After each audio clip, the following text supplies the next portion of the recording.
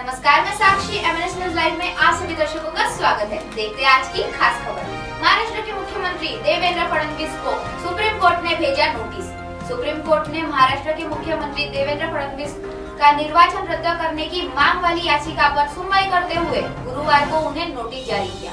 याचिका में आरोप लगाया है की फडनवीस ने विधानसभा चुनाव के दौरान अपने हलफनामे में उनके खिलाफ लंबित आपराधिक मामलों का खुलासा नहीं किया था।